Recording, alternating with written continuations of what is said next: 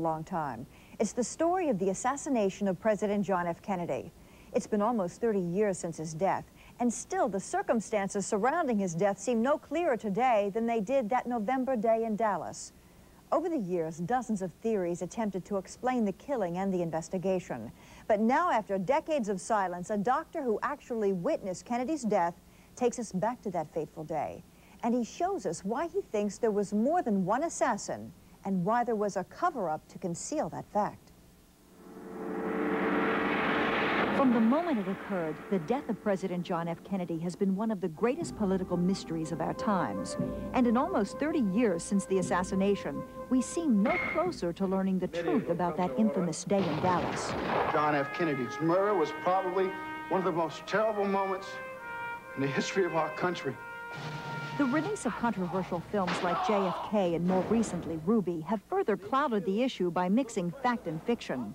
But now, for the first time since Kennedy's death, one of the doctors who fought to save the president's life is talking about what he saw. The wounds that I personally saw were the small anterior entrance wound here in the throat and the large avulsive hole in the right part of the back, including part of the parietal, the temple, and all of the occipital bone. The only thing I can can tell you from my personal observations and those pictures that I viewed of the autopsy, there is definitely a difference. I think I can comment that there was the attempt at a cover-up to not let the American public know that he was shot from the front. Dr. Charles Crenshaw was a third-year resident on the trauma team at Parkland Hospital in Dallas during the early 1960s. In November of 63, a phone call would summon Crenshaw to become not only a witness to history, but part of it as well. We were going through a normal day in a surgical residency. However, this was going to be a holiday to me. The president was coming to Dallas. I was on Stemmons Freeway earlier, and even the freeway was jam-packed with spectators waiting their chance to see them. It, it appears as though something has happened in the motorcade route. Something, I repeat, has happened in the motorcade route. Parkland Hospital has been advised to stand by for a severe gunshot wound. I picked up the phone, and the uh, telephone operator said, the president's been shot. And she was an older lady who left a kid with the residents. We had no pagers then, no page, only the page system. So she said, this is no joke. The president's been shot and he's coming to the back door. We've received reports here at Parkland that Governor Connally was shot in the upper left chest, and the first unconfirmed reports say the president was hit in the head. We go into the emergency room. It's sheer bedlam. People were running everywhere. Um, the CIA or the F Secret Service people, the FBI, no one knew each other. And I ran by uh, the the nursing desk in the center of the emergency room. The nurse was crying and held up one, which meant that the president was in trauma room one. And that's when we walked into it. With the President of the United States mortally wounded and stretched out before him, Dr. Crenshaw could see his medical team was fighting a losing battle. Kennedy was dying, and there was nothing anyone could do about it. The President um, was agonal when he arrived. He had no blood pressure. There might have been a pulse, but not really.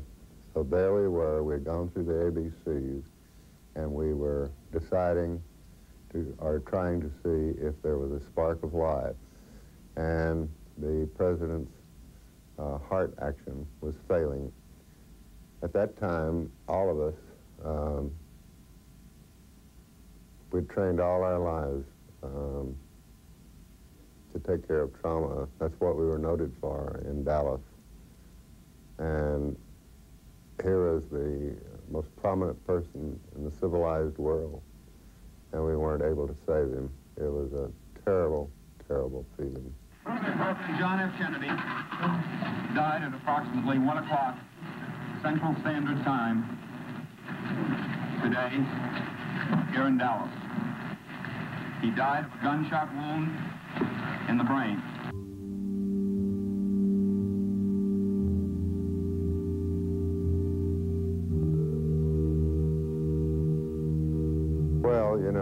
We had completed our procedures, I went up uh, for the first time to see the head wound, and it was ghastly.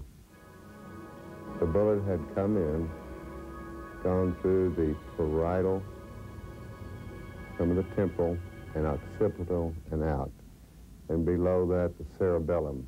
This is a small part of the brain that is protected by the cerebral hemispheres. And all of this brain tissue was gone. This was a huge cavity. And then I knew there would have been, there was no hope at all. I briefly saw the uh, wound before, but then I knew.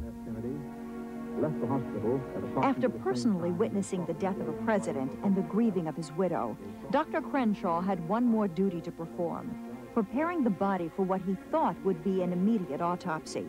But that was not to be. The body was taken back to Washington before an autopsy could be performed. However, before the president's body was removed, Dr. Crenshaw had one more chance to study the nature of the president's wounds.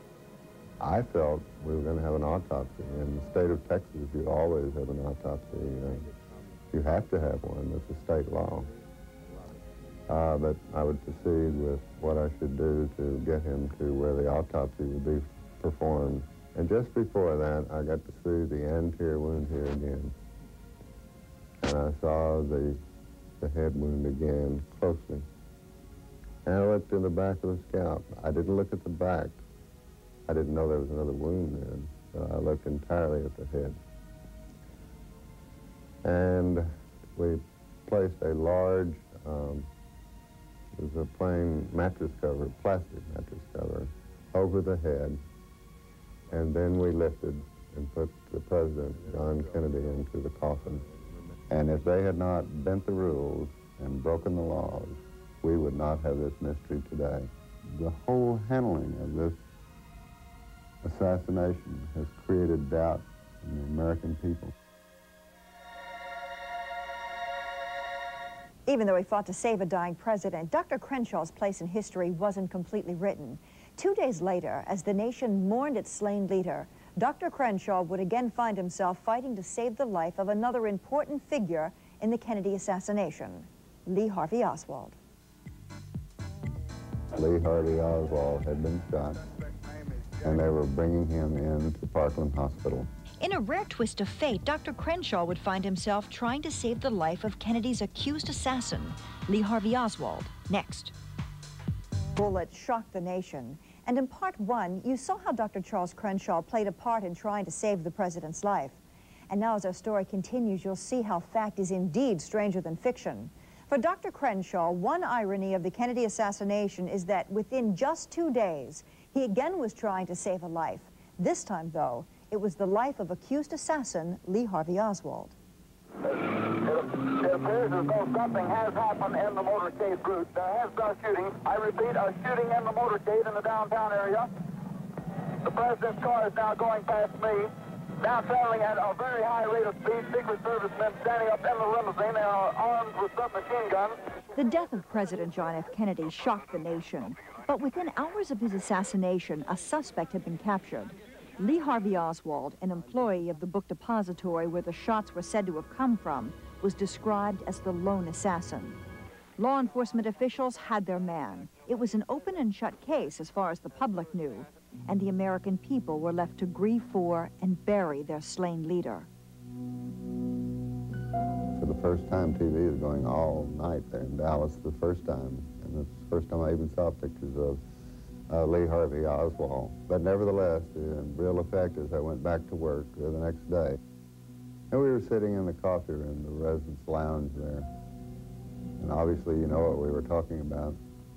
And the telephone rang, and we picked up the phone, and it was the uh, administrator of Parkland Hospital, and he demanded a, an operating team to come down to the emergency room. Do you have anything to say in your defense?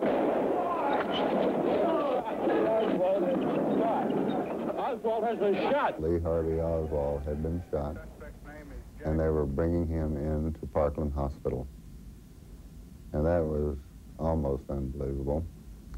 However, he was then coming in, and we were preparing Trauma Room 1, and one of the few things that Jack Price always remembers was that I told him we could not have the accused assassin in Trauma Room 1. Therefore, we treated Oswald when he arrived in Trauma Room 2. Incredibly, just two days after he fought to save the life of a dying president, Dr. Charles Crenshaw found himself doing the same thing for the man accused of killing Kennedy. But that wasn't the only unusual thing to happen that day. A few minutes after Oswald was taken to surgery, Dr. Crenshaw was called to the phone once more to speak with the new president of the United States. And I picked up the telephone and said, this is Dr. Crenshaw. And all of a sudden, like a voice out of thunder, said, this is the president, Lyndon B. Johnson. How is the accused assassin doing? I said, well, he's critical. He's lost an enormous amount of blood. He is holding his own, and we're doing the best we can. He said, would you take a message to the chief operating surgeon? I said, certainly. He said, I would like to have a deathbed statement from that man. Shortly thereafter, the complications of hemorrhagic shock from brain loss ensued, and Lee Harvey Oswald died. Dallas had solved the killing of the century in hours. Everybody knew it. And the killer was Lee Harvey Oswald, and the shots were from the back. I may be naive, but I'm not crazy.